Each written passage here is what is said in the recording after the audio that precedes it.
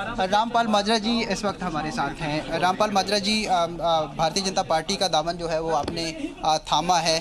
काफ़ी काफ़ी दिनों तक इनेलो से जुड़े रहे, लेकिन अब चुनाव के दौरान भारतीय जनता पार्टी ने प्रभावित कर लिया। आप भारतीय जनता पार्टी की नीतियों से प्रभावित हुआ कि किसान के लिए जिस प्रकार से एश्योर्ड इनकम छः हज़ार रुपये प्रति किसान प्रधानमंत्री सम्मान निधि के तहत आई जिस प्रकार से आयुष्मान योजना शुरू करी गई और उज्ज्वला योजना शुरू की गई और हरियाणा प्रदेश में नौकरियाँ जिस प्रकार से पारदर्शी ढंग से दी गई, इन्होंने भारतीय जनता पार्टी की ओर खींच लिया। मैं कांग्रेस पार्टी में जा नहीं सकता था क्योंकि कांग्रेस पार्टी भ्रष्ट लोगों की पार्टी है, उसमें बहुत बड़े घपले घोटाले हुए हैं। हरियाणा प्रदेश के ज़मीनी घोटाले हुए हैं। हरियाणा प्रदेश के किसानों की ज़मीनें लूट करके बड़ी कंपनियों को दी गई हैं।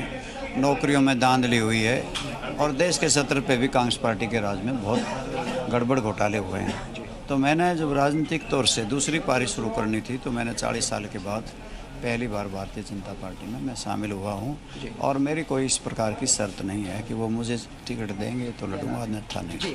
माजरा जी जो पार्टी आप छोड़ के आए हैं एक विपक्षी पार्टी थी कांग्रेस से बड़ी पार्टी थी विधानसभा में। लेकिन जिस तरह के हालात हुए हैं पार्टी के आपको क्या लगता है कि अब इनेलो पार्टी जिसको आप छोड़ कर आए हैं वो अब कहाँ स्टैंड करती है? क्या इन विधानसभा चुनाव में कोई टक्कर दे पाएगी भारतीय जनता पार्टी? के मुकाबले में कोई भी पार्टी टक्कर नहीं दे पाएगी।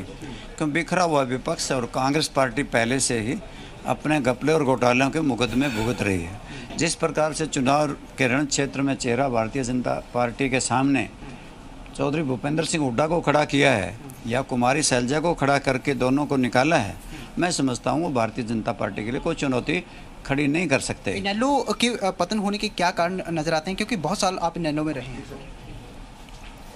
मेरे ख्याल में मेरी इन लो पार्टी और जज्बा के साथियों से तो इतना ही कहना चाहता हूँ कि बहुत लंबे समय तक नहीं सारी ज़िंदगी उन्हीं के साथ रहा हूँ। और मैं के कारण गिनाऊँगा अच्छा नहीं लगेगा। मेरी तो उन सबको शुभकामनाएँ हैं। और मेरी तरफ़ से चौधरी देवीलाल चौधरी ओम प्रकाश चौटाला के हर आंदोलन में और अभय सिंह चौटाला के हर आंदोलन में जो भी किसान मजदूर के लिए लड़े गए, मेरी बहुत अग्रणी भूमिका रही है।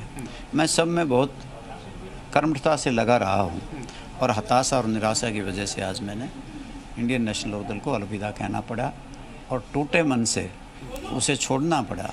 और इस दौर में मैंने यही सोचा कि जब छोड़ करके किस पार्टी में जाऊँ तो मुझे भारतीय जनता पार्टी अच्छी लगी, उसकी नीतियाँ अच्छी लगी, उसके नेताओं की नीति अच्छी लगी, जिसकी वजह से भारतीय जनता पार्टी को मैंने ज्वाइन किया।